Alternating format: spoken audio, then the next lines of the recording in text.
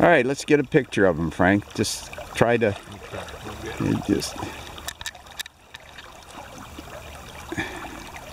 That's it. Now lift him towards me.